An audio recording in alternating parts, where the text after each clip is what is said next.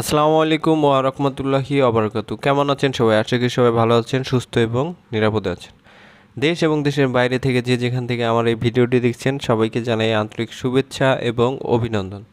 তো বাংলাদেশের বাজারে খুব তাড়াতাড়ি কিন্তু V ten V twenty V থার্টির মডেলগুলো কিন্তু খুব তাড়াতাড়ি লঞ্চ হতে যাচ্ছে। তো আসুন লঞ্চ হওয়ার আগেই এই গাড়িতে কী কী ফিউচার রয়েছে, কী কী স্পেশাল সিস্টেম এখানে ব্যবহার করা হয়েছে সে সম্বন্ধে জেনে তার আগে যারা এখনও আমার চ্যানেলটি সাবস্ক্রাইব করেনি তারা সাবস্ক্রাইব করুন এবং পাশে থাকা বেল বাটনটি প্রেস করে দিন, যাতে এরকম নতুন নতুন ভিডিও আসার সাথে সাথে আপনার কাছে পৌঁছে যায়। আর যারা সাবস্ক্রাইব করেছেন, তাদেরকে অসংখ্য ধন্যবাদ। চলুন শুরু করা যাক আজকের ভিডিও। তো আজকে আমরা কথা বলব হচ্ছে টাটা কোম্পানির টাটা ইন্টা ভি টেন মডেলের যে পিক রয়েছে, এক টন ক্যাপাসিটির সেই পিক নিয়ে।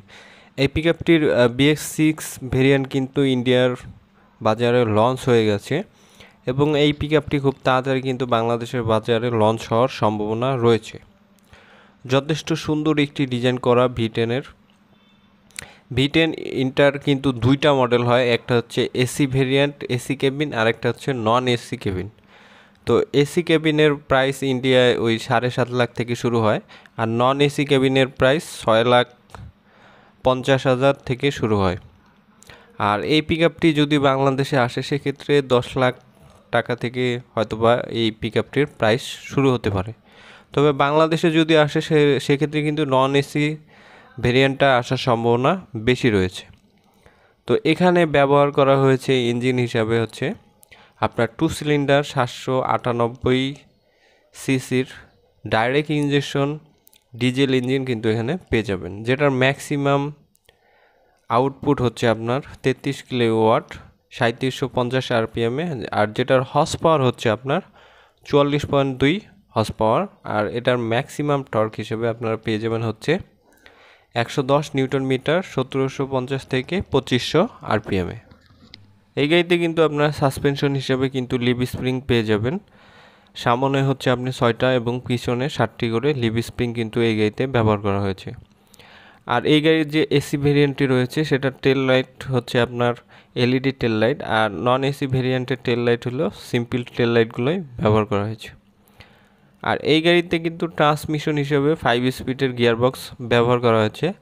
আর এই গাড়িটির যে বডিটা রয়েছে, এটার লম্বা হচ্ছে আট ফিট দুই ইঞ্চি এবং এর পাশে হচ্ছে পাঁচ ফিট তিন ইঞ্চি। আর এই গাড়িতে যে ক্লাস সিস্টেমটা ব্যবহার করা হয়েছে, সেটা হচ্ছে সিঙ্গেল প্লেট ডাইফেকশনের ক্লাস প্লেট ব্যবহার করা হয়েছে। আর এই গাড়ির আপনার পে লোড হচ্ছে আপনার এক হাজার কেজি, আর এই গাড়িটির জিবিডাব্লিউ হচ্ছে একুশশো বিশ কেজি। এই গাড়ি থেকে আপনি এক টন লোড নিতে পারবেন অনায়াসে। আর এই গাড়ির আপনার হচ্ছে যে স্টিয়ারিং সিস্টেমটা ব্যবহার করা হয়েছে, সেটা হচ্ছে পাওয়ার স্টিয়ারিং সিস্টেম ব্যবহার করা হয়েছে। আর এই গাড়িতে ট্রান্সমিশন হিসেবে আপনারা পেয়ে যাবেন হচ্ছে ফাইভ স্পিডের gear box manual gear box পেয়ে যাবেন।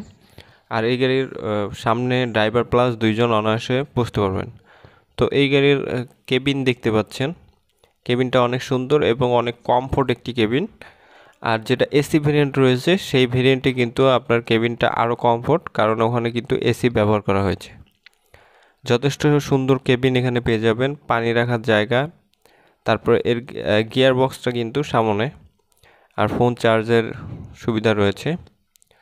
ওভারঅল এই গাড়িতে আপনাকে কিন্তু ভালো কিছু অফার করছে। এই গাড়িটি যদি বাংলাদেশের বাজারে আট থেকে দশ লাখ টাকার ভিতরে হয়, সেক্ষেত্রে কিন্তু ভালো একটি গাড়ি আপনার পেয়ে যাবেন। কারণ এই গাড়িটার কিন্তু আপনার টর্ক যেটা রয়েছে, সেটা হচ্ছে একশো দশ টর্ক। যার ফলে কিন্তু এই গাড়িটি অনায়াসে যে কোনো ভাঙাচোরা রাস্তায় চলতে পারবে। যথেষ্ট কমফোর্ট একটি গাড়ি। আর এই গাড়িতে আপনি কিন্তু এক টনের ক্যাপাসিটি হলেও আপনি দেড় টন পর্যন্ত বা দুই টন পর্যন্ত লোড অনায়াসে নিতে পারবেন। যথেষ্ট পরিমাণে ভালো একটি গাড়ি এটি। এই গাড়িটি কিন্তু খুব তাড়াতাড়ি বাংলাদেশের বাজারে লঞ্চ হবে। আর এই গাড়িতে দেখতেই পাচ্ছেন, দরজার সাথে কিন্তু পানি রাখার স্পেস রয়েছে। আর এই গাড়িটি কিন্তু ইকো মুড ব্যবহার করা হয়েছে। যখন আপনার গাড়িটি লোড অবস্থায় থাকবে না, তখন কিন্তু আপনি ইকো মোডে এই গাড়িটি চালাতে পারবেন। তার ফলে কিন্তু এই গাড়ি থেকে আপনি ভালো একটি মাইলেজ পেয়ে যাবেন। আর এই গাড়িতে যে স্পিড মিটারটি ব্যবহার করা হয়েছে, সম্পূর্ণ ডিজিটাল একটি স্পিড মিটার এই গাড়িতে আপনারা পেয়ে যাবেন। আর স্টেরিং হিসেবে আগেই বলেছি, এখানে কিন্তু পাওয়ার স্টেরিং পেয়ে যাবেন। তো ভিডিওটি কেমন লাগল অবশ্যই কমেন্ট করে জানাবেন। ভিডিওটি যদি ভালো লাগে একটি লাইক দিবেন এবং বন্ধুদের সাথে শেয়ার দিবেন। আর যদি ভালো না লাগে